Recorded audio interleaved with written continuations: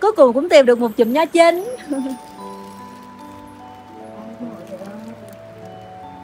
à, không cắt được cái cuốn dài. Mọi người nhìn đã chưa?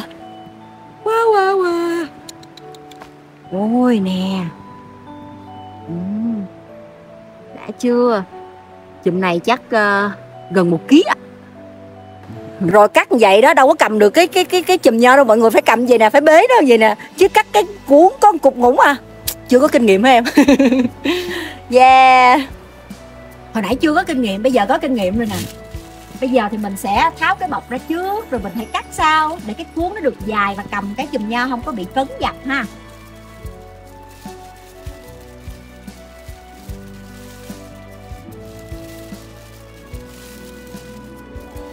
đây ta da đã chưa?